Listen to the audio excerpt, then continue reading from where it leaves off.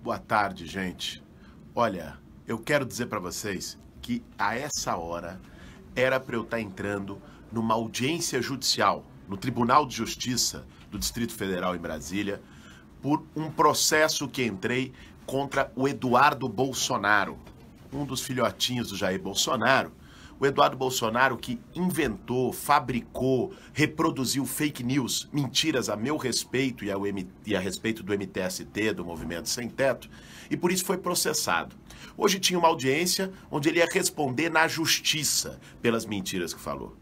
Qual não foi a surpresa de ver, em cima da hora, a audiência desmarcada, porque o seu Eduardo Bolsonaro fugiu do oficial de justiça e não se deixou intimar? É um fujão, né? valentão de Facebook. Diz, né? grita, esbraveja. Ele, como pai, tá no DNA da família. Fujão, fujões. Na hora do vamos ver, se esconde embaixo da mesa. Né?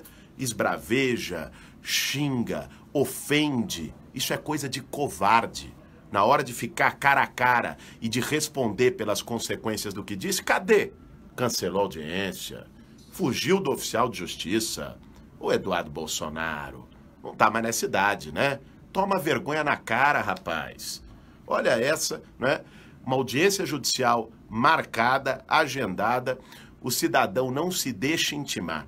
Né? Não se deixa intimar porque deve porque não queria ficar olho no olho, cara a cara, porque sabe que falou mentira. Agora nós vamos levar esse processo até o fim. Não vai ter como fugir até o fim da vida, né, Eduardo? Nós vamos te encontrar, você vai ser levado para os tribunais e vai responder pelas mentiras que falou. Fujão. Fujão. Tal pai, tal filho.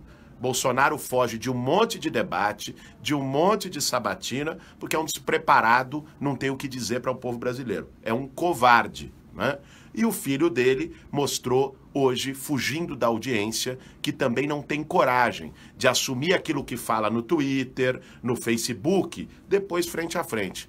Valentão de teclado, esse mundo tá cheio.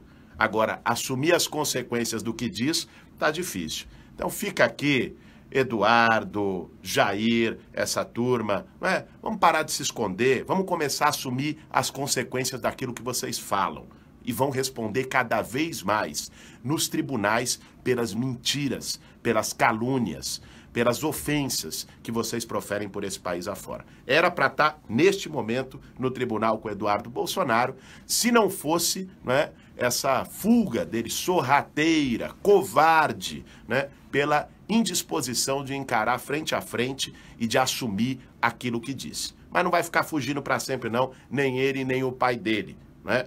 A covardia tem limite. Então fica aqui é, essa denúncia para todos que estão nos assistindo agora de que o seu Eduardo Bolsonaro não tem sequer coragem de assumir em juízo aquilo que diz, que escreve no tecladinho. Né? Não tem essa coragem, sumiu, né? a audiência vai ser remarcada para que ele responda pelos absurdos que disse. Propagar mentira, propagar fake news é fácil na hora de assumir a responsabilidade, aí some. É próprio de gente covarde, como é o seu Eduardo Bolsonaro, como é o seu Jair Bolsonaro.